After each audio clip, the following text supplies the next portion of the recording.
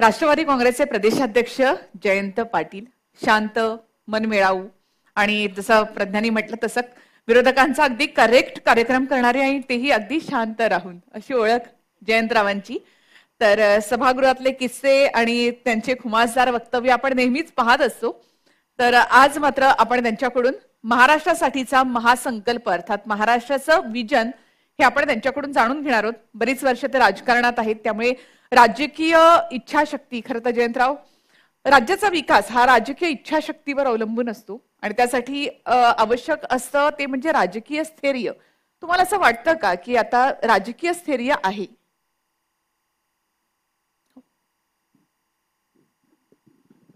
राजकीय अस्थिरता आहे सध्या. राज्याच्या सरकारवर टांगती तलवार आहे. सुप्रीम कोर्टात वेगळ्या केसेस चालू आहेत. निवडणूक आयोगाच्या समोर काही चालू आहे. त्यामुळे अस्थिरता सत्तारूढ लोकांच्या मनातच फार आहे. आणि आपलं पुढं कसं होणार? या चिंतेने चिंताग्रस्त झालेले सरकारमध्ये बसलेले लोक आहेत. आणि त्यामुळे राज्यात अस्थिरता आहे. आणि दिसेल त्याला हो म्हणण्याची आता त्यांना सवय लागलेली आहे. तुम्ही म्हणताय की राजकीय अस्थिरता आहे. सुप्रीम कोर्टाचा उल्लेख तुम्ही केलात. सुप्रीम कोर्टामध्ये पात्र अपात्रतेची सुनावणी होते. तुम्ही आज इतकी वर्ष सभागृहामध्ये आहात. तुम्हाला काय वाटतं? की ते सोळा आमदार अपात्र ठरतील पात्र ठरतील? अंदाज? कायद्या कायद्याप्रमाणे जर न्यायालय बघणार असेल तर शंभर टक्के ते सोळा जण अपात्र ठरतील. आणि त्यानंतर उरलेले देखील ज्यांनी शिवसेनेच्या पक्षादेशाला जुगारून विधानसभेत मतदान केलं ते देखील अपात्र ठरतील. तुम्ही म्हणताय की ते अपात्र ठरतील त्यामध्ये मुख्यमंत्री एकनाथ शिंदे सुद्धा आहेत. मग तसं जर अपात्र ठरले ते सोळा आमदार तर मग सरकारच पडेल. हो आता पहिल्या सोळा जणांचा निर्णय आता उद्यापासून केस चालू आहे. त्यात जर ते अपात्र ठरवण्यात आले तर मुख्यमंत्री स्वतःच अपात्र झाले तर मग सरकार कोसळेल. तुमचे जे नेते म्हणतात की सरकार आज पडेल उद्या पडेल दोन महिन्यांनी पडेल तर मग हा अंदाज या सगळ्यावरून आहे? नाही आता असं आहे की खरं म्हणजे सुप्रीम कोर्टाने फार दिवस लावले ह्या केसेस घेण्यासाठी. खरं म्हणजे एखाद्या राज्यामध्ये बेकायदेशीर सत्ता कुणीतरी संग्रहण केलेली असेल तर तातडीने त्या केसेस पूर्ण करून निकालात काढणं हे सुप्रीम कोर्टाच्या दृष्टीने अतिशय आवश्यक होतं. सुप्रीम कोर्टाने फार वेळ लावला आणि तारखावर तारखा दिल्या आणि बेकायदेशीरदृष्ट्या बेकायदेशीर दृष्ट्या सत्तेत बसलेल्या सरकारला दीर्घकाळ काम करण्याची संधी दिली. त्यामुळं सगळ्याच प्रश्नांबद्दल लोकांच्या मनात शंका निर्माण व्हायला बराच वाव होता. आम्ही जे सांगतो एक महिना दोन महिने तीन महिने ते याच आधारावर कारण आम्हाला माहिती आहे की कोर्टात या सरकारने जे कृत्य केलेलं आहे सत्ता स्थापन करताना ते बेकायदेशीर आहे. ते कोर्टात जर न्यायाने कोर्ट चालणार असेल तर शंभर टक्के ते बेकायदेशीर ठरतील. सगळ्यांना उत्सुकता आहे की हा निकाल कधी लागणार? आता ऑलरेडी त्याला दोन तीन महिने होऊन गेलेले आहेत. जवळपास चार महिने झालेले आहेत. अंदाज काय तुमचा? आता हे सोळा जणांचं तर आता हिअरिंग चालूच झालंय मला वाटतं उद्यापासून. उद्या पाच सहा दिवसात काही ना काही निष्कर्षापर्यंत येईल अशी अपेक्षा आहे. पण अलीकडं न्यायाधीश रिटायर झाल्यावर त्यांना परत गव्हर्नर करण्यात येतं. त्यामुळं काय कधी होईल काय या देशात सध्या तर सांगता येत नाही. रोग कळतो तुमचा जयंतराव या सगळ्यामध्ये. तुम्ही एकदा म्हणाला होतात की लोकसभेबरोबरच विधानसभा निवडणुका होतील. तर तसा काही प्लान सरकारचा फडणवीस शिंदे सरकारचा आहे असं तुम्हाला वाटतं? की तुमचा नाही. अंदाज आहे? आमचा हा अंदाज आहे कारण अ, राज्य सरकारला क्रेडिबिलिटीज नाही आहे त्यामुळं त्यांना मोदींच्या लोकप्रियतेचा आधार घेऊन निवडून पुन्हा येतोय का हे बघण्याशिवाय दुसरं ऑप्शन नाही आहे आणि म्हणून दोन्ही निवडणुका एकत्रित घ्यायचाच प्रयत्न ते करतील. म्हणून वारंवार मोदी सध्या मुंबईमध्ये येत आहेत. ते महानगरपालिकेच्या निवडणुकीसाठी येतात तुम्ही असं म्हणाला होतात की देवेंद्रजींना कमी समजू नका. मग अशा वेळेला तुम्ही का म्हणता की सरकार आज पडेल उद्या पडेल? किंवा लोकसभेबरोबर विधानसभा निवडणुका सुद्धा होतील. देवेंद्रजींना कमी समजू नका या अर्थाने की मॅनिप्युलेशन चांगलं करू शकतात ते या अर्थाने. आता सुप्रीम कोर्टाने सुप्रीम कोर्टापर्यंत सुप्रीम कोर्ट जो निर्णय देईल तो विषय वेगळा आहे आणि यांचा विषय वेगळा आहे. यांचा राजकीय आहे विषय तो कायद्याचा विषय आहे. जयंतराव मी जसं तुम्हाला म्हटलं की तुमचा अगदी स्वभाव खूप शांत आहे मन मिळावू आहे शांत राहून तुम्ही विरोधकांचा करेक्ट कार्यक्रम करता. मग असं काय होतं की जयंतरावांना अचानकपणे सभागृहामध्ये संताप येतो किंवा असं काय होतं की अचानकपणे जयंतरावांना पहाटेचा शपथविधी आठवायला लागतो? नाही असं आहे की सभागृह वन साइडेड चाललं आणि दुसरी बाजू ऐकूनच घ्यायला सभापती अध्यक्ष तयार नसतील. तर त्या दिवशी सगळेच संतापलेले होते. मी एकटाच नाही सगळेच वेलमध्ये आलेले होते. त्यामुळं सत्तारूढ बाजूची तेरा चौदा भाषणं झाल्यावर शिवसेनेचं एक भास्करराव जाधवांचं भाषण होऊन द्यावं एवढीच मागणी विरोधी पक्षाची होती. पण तीही डावलायलाच काम चालू होतं. आणि म्हणून जरा जादा झालं. म्हणून मी संतापलेलो नव्हतो. मी फक्त एवढंच सांगितलं की अरे किती निर्लज्जपणा करताय. आता तो निर्लज्ज हा शब्द संसदीय नाही आहे. आता मराठी भाषेत तर त्याला वेगळा पर्याय काय मला दिसत नाही काय आहे? नाही बरेच शब्द मध्यंतरीच्या काळामध्ये संसदीय झालीत. बर. मा- माझा दुसरा प्रश्न होता तो म्हणजे त्याला लागून मी तुस- दुसरा प्रश्न घेते. मात्र त्याआधी तुम्ही जसं म्हणाल की सभागृहामध्ये तुम्ही म्हणालात तसं की तुम्हाला बोलू दिलं जात नाही वगैरे. तुमचेच विधानसभा अध्यक्ष होते त्यावेळेला. नाना पटोले यांनी अं, विश्वासात न घेता राजीनामा दिला असं शरद पवार म्हणाले. हे खरं आहे का? हो त्यांचा राजीनामा झाल्यावरच आम्हाला कळलं की त्यांनी राजीनामा दिला. त्यांना सभापती म्हणजे अध्यक्ष करताना तिन्ही पक्षांनी एकत्रित बसून विचारविनिमय करून अध्यक्ष केलेलं. त्यामुळं साधी अपेक्षा होती की इतर दोन पक्षांना त्याची कल्पना दिली जावी. आणि त्यांनी अध्यक्षपदाचा राजीनामा दिल्यावर होणारे परिणाम काय ह्याची साधारण चर्चा आधी झाली असती. तर कदाचित निर्णय बदलला असता. पण नाना पटोले यांचं म्हणणं होतं की आम्ही आमचा निर्णय त्या ठिकाणी घेतला. कदाचित नाना पटोलेंनी राजीनामा दिला नसता तर सरकार वाचलं असतं. अध्यक्ष जर आमच्या म्हणजे महाविकास आघाडीचा असता तर अध्यक्षपदावरून त्या ठिकाणी फारशी हालचाल सभागृहात अशी चुकीची जी बेकायदेशीर झाली आहे ती तर नक्कीच झाली नसती. म्हणजे एवढी कोंडी जी आज झालेली आहे तशी झाली नसती. हा नसती झाली. अशी घटनाच घडली नसती. बरोबर. अ, जयंतराव जसं मी म्हटलं पहाटेचा शपथविधी तुम्हाला अचानकपणे आठवला. अचानकपणे तुमचं ते वक्तव्य आलं की कदाचित ती शरद पवारांची खेळी असू शकते असा माझा कया असे.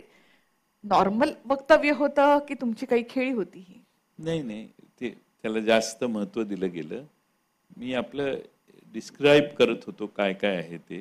त्यामुळं ते ते काय एवढं त्याला महत्त्व देण्याची गरज नाही आणि तुम्ही तर देऊच नका. पण असं मध्येच आठवण्याचं नेमकं कारण काय? की मला माहीत नाही ते त्यावेळी काय मुलाखतीत होतं. पण त्याला एवढं महत्त्व देण्याची गरज नाहीये. पण तुम्हाला स्वतःला कधी त्याविषयी काही असं वाटलं का? किंवा अजूनही तुमच्या मनामध्ये देखील जातो. त्यामुळे त्यांचं असं फडणवीसांनी स्वतः मला ते का म्हणतात कळत नाही. कोणत्या गुन्ह्यात त्यांना तुरुंगात टाकायचं होतं? कोणती घटना किंवा कोणत्या चुका त्यांनी केल्या? हेही मला आम्हाला आमच्यासमोर अशी कधी चर्चाच झाली नाही. त्यामुळं मला वाटत नाही की असं कुणाला त्यांना तुरुंगात टाका आणि राज्याच्या विरोधी पक्ष नेत्याच्या बद्दल अशी भूमिका असण्याचं कोणाचं कारण नाही. त्यामुळे मला वाटत नाही की त्यात काही तशी चर्चा कुठं झालेली आहे. नाही फडणवीसांनी स्वतः असं म्हटलं की त्यांना तुरुंगात टाकण्याची भाषा सुरू होती किंवा तशा काही षडयंत्र मला. मला नाही वाटत तसं काही चर्चा. कधी आमच्यासमोर तरी मी काही गृहमंत्री नव्हतो पण आमच्यासमोर कधी अशी चर्चा झाली नाही. तुम्हाला असं वाटतं की म्हणजे ती भाजपची किंवा फडणवीसांची सिंपथी मिळवण्यासाठीची अशा अशा प्रकारची काही वक्तव्य येत आहेत? ते आता त्यांनाच विचारलं पाहिजे मला काय. पण रोख सगळा हा राष्ट्रवादीकडे जातो. म्हणजे सरकार पडलं आता संजय राऊत किंवा शरद पवारांचं वक्तव्य होतं की नाना पटोलेंनी राजीनामा दिला नसता तर कदाचित सरकार पडलं नसतं. मात्र ज्या वेळेला सगळे शिंदे आणि त्यांचे आमदार हे गुवाहाटीला गेली त्यावेळेला सगळा रोख हा राष्ट्रवादीकडे होता. राष्ट्रवादीकडून निधी मिळत नाही डावळण्यात येतं. अशा प्रकारची जी काही वक्तव्य होती किंवा पुढचा मुख्यमंत्री हा आमचाच होणार अशा प्रकारची वक्तव्य राष्ट्रवादीकडून येत होती आणि त्यामुळे आम्ही बाहेर पडण्याचा निर्णय घेतला. म्हणजे पूर्ण जो रोख होता तो फक्त राष्ट्रवादीकडे होता. दोष राष्ट्रवादीला दिला गेला. नाही आता घर सोडून जायचं असलं की कुठल्या तरी भावाला दोष द्यायचा असतो. तीन भाऊ एका घरात राहतात तर एकाला दोष द्यायचा. आणि त्यामुळं सत्तेसाठी गेले कशासाठी गेले? गेलेल्यांचे फायदे काय झाले? बाहेर इतक्या सुरस कथा महाराष्ट्रभर पसरलेल्या आहेत की विचारू नका कोण कशामुळं गेलं काय गेलं कोणाला किती काय मिळालं. याच्याविषयी फार सुरस कथा आहेत. त्यामुळं सगळ्यांच्याच लक्षात आलं की यांनी राष्ट्रवादीच्यावर जी ॲलिगेशन्स केलेली त्यात काही तथ्य नाही. आणि कुणालाही पैसे कमी मिळाले नाहीत. सर्वांना पैसे त्या काळात मिळत होते. हे गैरसमज पसरवण्याचा प्रकार आहे. आणि करोनाच्या काळामध्ये जे दीड वर्ष गेलं त्यात आर्थिकदृष्ट्या कुचंबनाच होती. तरी देखील सरकार चालवण्यात राष्ट्रवादीचे अर्थमंत्री म्हणून अजित पवार यांच्याकडून चांगलं काम झालं. आणि कोणत्याही परिस्थितीमध्ये महाराष्ट्रातल्या कुठल्याही घटकाला सरकारच्या तिजोरीत पैसे नसताना अडचण आली नाही. पण विकास कामं मात्र त्यावेळी थोडीशी स्लो झाली. त्यात काही लोकांना वाटलं असेल की आमच्याकडे आले नाहीत आमच्याकडे आले नाहीत. पण पुन्हा करोना कमी झाल्यावर पुन्हा सगळं सर्व व्यवस्थित चालायला सुरुवात झालेली होती. मात्र आता शिंदे फडणवीस सरकार असं म्हणतंय की आमचं सरकार आल्यापासून विकासाची गाडी वेगानं धावते. जी महाविकास आघाडीच्या काळामध्ये धावत नव्हती. नाही असं त्यांना वाटतंय पण तशी काही परिस्थिती नाही आहे राज्याची तिजोरीत फारशी परिस्थिती काही चांगली नाही आहे महाराष्ट्राचं वीज मंडळ फार मोठ्या संकटात आलेलं आहे. शेतकऱ्यांच्या वीज जोडण्या तोडायचं काम चालू झालेलं आहे. म्हणजे कनेक्शन्स तोडायचं काम मोठ्या प्रमाणात महाराष्ट्रात चालू झालंय. महाराष्ट्राचं वीज मंडळ जसं संकटात तसं घोषणा एवढ्या आहेत. आणि बजेटमध्ये पुरवणी मागणी पंच्याहत्तर हजार कोटी रुपयाची आहे. म्हणजे बजेटच काठावर मांडलं प्लस पंच्याहत्तर हजार कोटी रुपये. म्हणजे खर्च करायला पैसे कुठे आहेत सरकारला?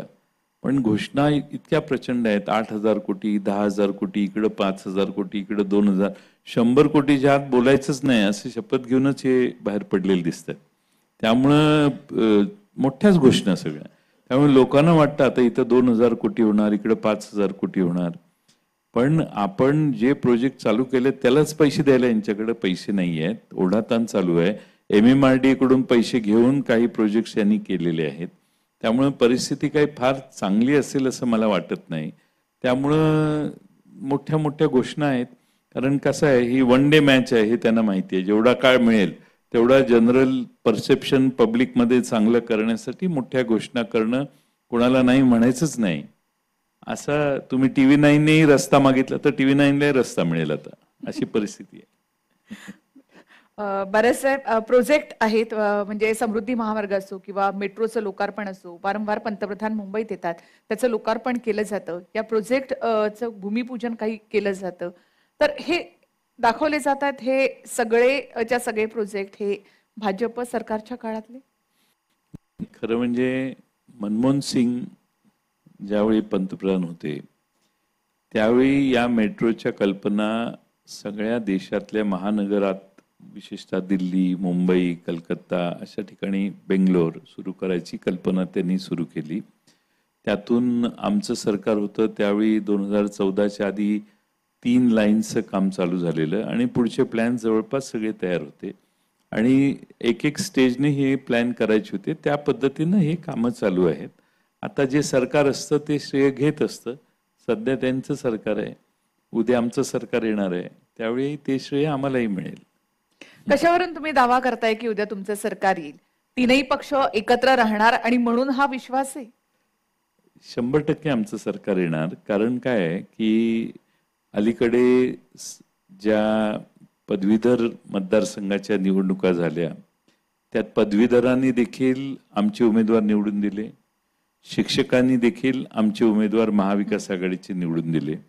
आता देश राज्यातल्या सुशिक्षित मतदार सं- मतदार जे आहेत तेही महाविकास आघाडीलाच जर प्राधान्य देत असतील तर हा राज्यातल्या सर्व कोपऱ्यातला म्हणजे गडचिरोली चंद्रपूरपासून ते अगदी इकडं बुलढाण्यापर्यंत आणि मराठवाड्यातल्या सगळ्यांनी आणि पश्चिम महाराष्ट्रात तर यावेळी निवडणुका नव्हत्या पण जेव्हा झाल्या त्यावेळी आमचाच पदवीधर मतदारसंघाचा उमेदवार निवडून आला. त्यामुळं तिन्ही पक्ष एकत्रित झाले तर भारतीय जनता पक्षाचा पराभव हा ठरलेलाच आहे महाराष्ट्रात मात्र ह्या ज्या निवडणुका आहेत म्हणजे आपण ग्रामपंचायत पंचायत समिती किंवा ह्या पदवीधर शिक्षक मतदारसंघ या निवडणुका आपण थोड्या वेगळ्या मानतो. या निवडणुका वेगळ्या आहेत तिथलं चित्र वेगळं असतं. विधानसभा लोकसभा यातलं चित्र थोडंसं वेगळं असतं असं तुम्हाला वाटत नाही का? एकदम तसंच असतं. ग्रामपंचायती नगरपालिका याच्यात वेगळा विचार करून माणसं मतदान करतात. प्रत्येक निवडणूक ही वेगळी असते.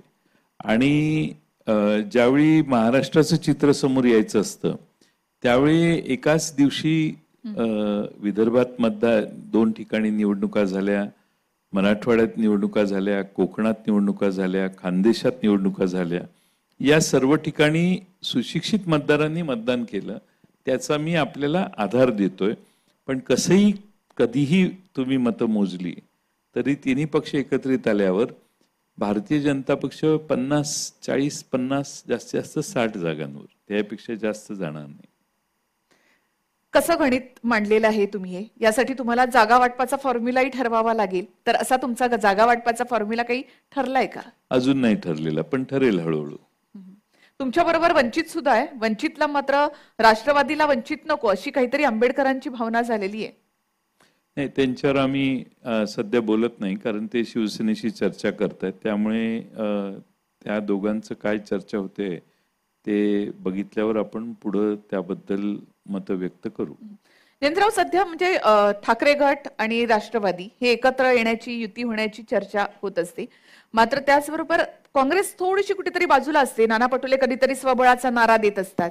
तर पुढच्या काळामध्ये समजा महाविकास आघाडीचे हे तीन पक्ष एकत्र नाही राहिले तरी ठाकरे गट आणि राष्ट्रवादी अशी युती होईल? तिन्ही पक्ष एकत्रित येतील. नाना पटोले यांचंही मत काही वेगळं आहे असं मला वाटत नाही. त्यांनी काही महाविकास आघाडीला छेद देण्याची भूमिका फारशी कुठं व्यक्त केलेली नाही. आणि तिन्ही पक्ष एकत्रित राहतील असा मला विश्वास आहे. भाजपनं आपल्या लोकसभेचं लक्ष ठरवलेलं आहे. मिशन फोर्टी फाय विधानसभेसाठी त्यांनी ठरवलेलं आहे मिशन टू हंड्रेड. राष्ट्रवादीचं काय? मी भाजपचे आभार मानतो की अठ्ठ्याऐंशी जागा त्यांनी सोडल्या आम्हाला. आणि त्यात आता कधी कुठंतरी राष्ट्रवादी बसवायचा प्रयत्न आम्ही करू. अठ्ठ्याऐंशी जागांपर्यंत तरी किमान पोचायची संधी आम्हाला मिळेल. गमतीने म्हणताय तुम्ही पण. आम्हाला मला खात्री आहे की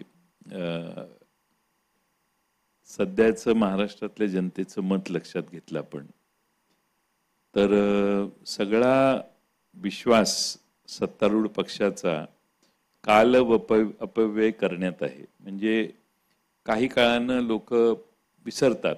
अशावर अशा समजुतीवर त्यांचा प्रत्येक निर्णय पुढं ढकलण्याचा प्रयत्न आहे. जशा नगरपालिका महानगरपालिकेच्या निवडणुका त्यांना घेण्याचं धाडस होत नाही. जिल्हा परिषदांच्या निवडणुका घ्यायचं धाडस होत नाही. त्यांना जेवढ्या उशिरा घेता येतील तेवढ्या त्या घ्यायच्या आहेत. का? तर उशिरा झाल्या तर मग हे आपण केलेली कृती जी आहे ती लोकांच्या हळूहळू मान्य होईल असा गैरसमज त्यांचा आहे. पण दोन हजार चोवीसच्या निवडणुका या साधारणपणाने लोकसभेबरोबर ज्यावेळी घेतील त्यावेळी लोक निश्चितपणाने ही जी घटना घडलेली आहे ती न विसरता मतदान करतील. आणि त्यामुळं मिशन दोनशेच्या ऐवजी मिशन शंभर जर केलं भाजपने तरी चालण्यासारखं आहे. राष्ट्रवादीचं टार्गेट काय असेल? आमची आघाडी तिन्ही पक्षाची झाल्यानंतर आम्हाला ज्या जागा वाटायला येतील त्या मधला स्ट्राईक रेट सगळ्यात उत्तम करण्याचा आमचा प्रयत्न असेल. एक अडचणीचा प्रश्न. राष्ट्रवादीमध्ये मग मुख्यमंत्री कोण होईल?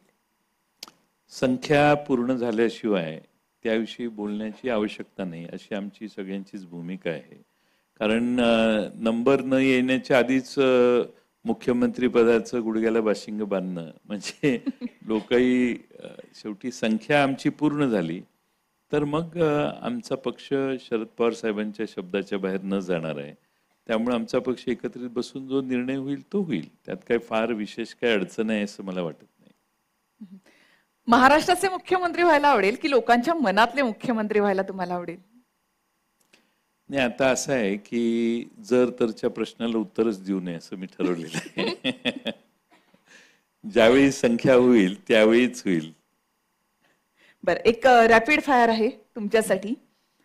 तर तुम्हाला एक नाव त्यामधून निवडायचं आहे. तुम्ही पाणी घेऊ शकता. रोहित पवार की पार्थ पवार? काय? चॉईस रोहित पवार राजकारणात आलेत पार्थ पवार अजूनही पडतायत तर सगळ्यात जास्त क्वालिटी तुम्हाला या सगळ्या राजकारणामध्ये कोणाची वाटते? रोहित पवार की पार्थ पवारांची? दोघांच्यातही काही चांगले गुण आहेत. दोघांच्यातही आहेत. तसं काय म्हणजे असं दोघातला एक चूज करावा असं मला काही वाटत नाही. आणि दोघं एका घरातले आहेत भाऊ आहेत. कशासाठी मी दुजाभावपणा दाखवायचा? मी सुरुवातीलाच म्हटलं होतं की जयंत पाटील खूप गोड बोलतात. अ, अंबानी की अदानी?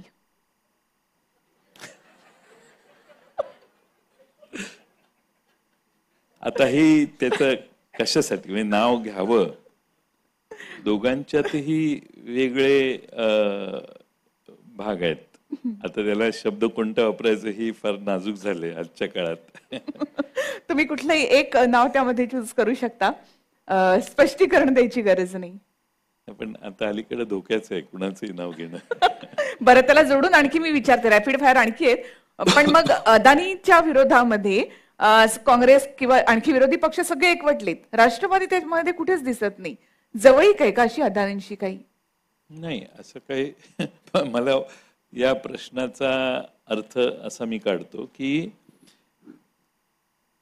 राज्यामध्ये किंवा देशामध्ये ज्या गोष्टी सध्या घडत आहेत त्या निष्कर्षापर्यंत पोचू देत लोकसभेत याच्यावर बरीच भाषणं झालेली आहेत त्याच्यात निष्कर्ष केंद्र सरकारने काढायचे आहेत या सगळ्या गोष्टी निघाल्यानंतर त्याच्यावर योग्य ते जे सत्य ज्यावेळी पुढे येईल त्यावेळी बोलणं जास्त उचित आहे. आज घाई करण्याची गरज नाही असं आमचं मत. रोहित पवारांनी स्पष्ट समर्थन दिलंय पण. त्या संदर्भात ट्विट त्यांचं आलं होतं. तेच ना म्हणून मी मगाशी कुणाचंच नाव घेतलं नाही ना. नाना पटोले की बाळासाहेब थोरात? खूप कठीण प्रश्न आहेत का? नाही नाही फार सोपे प्रश्न आहेत पण उत्तर देणं सध्या सोयीचं नाही. दोघही दोघही आम्हाला म्हणजे बाळासाहेब थोरातचा माझा फार चांगला संबंध आहे आणि ते ज्येष्ठ नेते आहेत. चांगले ससं म्हणजे समंजस आणि काँग्रेसचे मोठे नेते आहेत. आणि नाना पटोले देखील हिरिरीनं काम करतायत. त्यामुळं सारखे तुमच्यावर टीका करतात. करू दे ना पण आम्ही कुणावर टीका करायची हे आमचा चॉईस आहे ना. सांगली की महाराष्ट्र? काय आवडतं? आता महाराष्ट्र.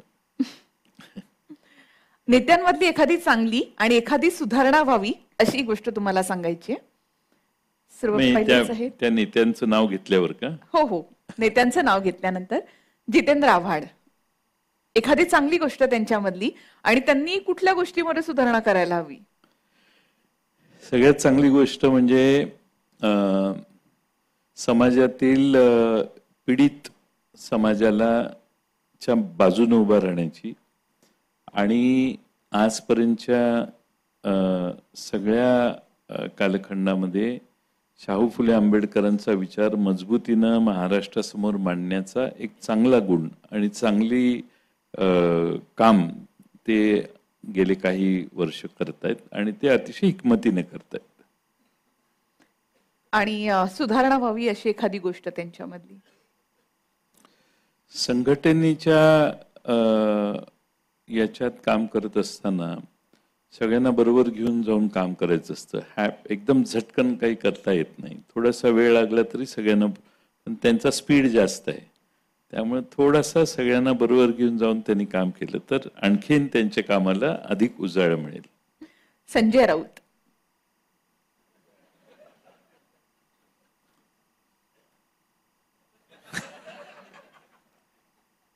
ते. संपादक आहेत. अतिशय चांगलं लिखाण करतात. मनमोकळेपणानं मनात येईल ती भूमिका मांडत असतात. आणि खुला खुलं मन आहे त्यांचं. खुलं आणि कशाला घाबरत नाहीत हे त्यांचं वैशिष्ट्य आहे. आणि मला वाटतं दिलदारपणाने मैत्री निभावणारा स्वभाव त्यांचा आहे. सुधारणा व्हावी अशी एखादी गोष्ट मला तर काही त्यांच्यात अवगुण दिसत नाही. राष्ट्रवादीला संजय राऊतांमध्ये कोणतेही अवगुण दिसत नाहीत. चांगलं काम करतात ते अजित पवार. रोखठोक बोलतात आग्रहानं काम करतात काम करायचं सगळ्यात मोठं वैशिष्ट्य म्हणजे वेळेवर येणं सकाळी लवकर दिवस सुरू करणं आणि कष्ट करण्याची पूर्ण तयारी आहे त्यांची. आणि अलीकडच्या काळात विधानसभेतही चांगली भाषणं करायला लागलेत ते. काही सुधारणा? मला काही सुधारणा सुचवण्याचं काही कारण नाही कारण चांगलं काम चाललंय. देवेंद्र फडणवीस. त्यांच्यामध्ये राजकारणातल्या सगळे बारकावे त्यांना कमी वयात आकलन त्यांनी केलेलं आहे. अभ्यास करण्याची प्रवृत्ती आहे.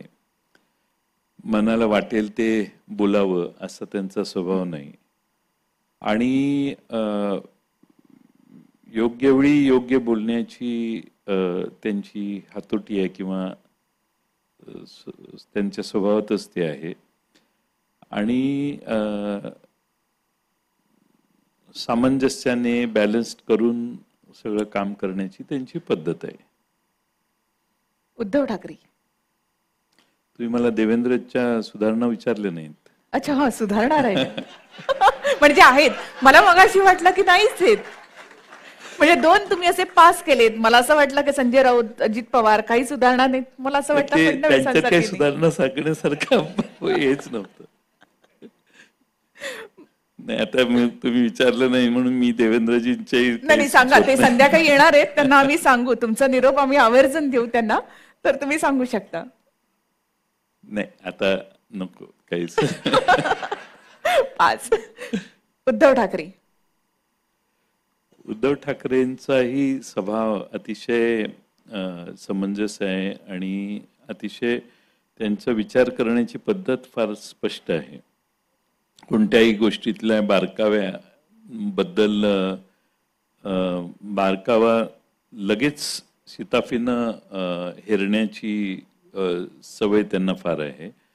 आणि मी आता इतके वर्ष त्यांच्यावर काम केलं मला ते एक चांगले आणि आदर्श असे नेते वाटतात. चांगलं काम करणारे आहेत. आणि एकदा एखादी गोष्ट मनात गेली की तो गैरसमज त्यांच्या मनातनं निघत नाही. हाही एक प्रश्न आहे की एखादी गोष्ट कळली तर मग त्यांना ती समजावून सांगावी लागते जाऊन सांगावी लागते. पण एकदा कळलं की ते तेही स्पष्टता येते त्यांच्यात. त्यामुळं मला वाटतं की ते फार बॅलन्स्ड आणि चांगले आहेत. आणि माझ्या बालमोन विद्या मंदिर इथं शेजारी आहेत. त्याच शाळेचे ते विद्यार्थी आहेत. मित्र आहेत. राज ठाकरे. त्यांचं टीव्हीवरच बघतो. माझा फारसा त्यांचा काय असा संपर्क नाही किंवा पर्सनल फार ओळख नाही. पण भाषण करण्याची कला चांगली आहे त्यांची. भाषणाला लोकही महाराष्ट्रात त्यांच्या गर्दी करतात असं कार्यक्रम बघताना दिसतं त्यांच्या. आणि वेगळ्या वेगवेगळ्या नेत्यांच्या नकला देखील चांगल्या ते करतात. त्यामुळं चांगले काही गुण आहेत त्यांच्यात. तुमची मिमिक्री आवडली होती का तुम्हाला? मला आवडेल चांगली केलेली. एकनाथ शिंदे. त्यांच्यामध्ये कष्ट करण्याची सवय जास्त आहे. कष्ट करण्याचा प्रयत्न फार करतात.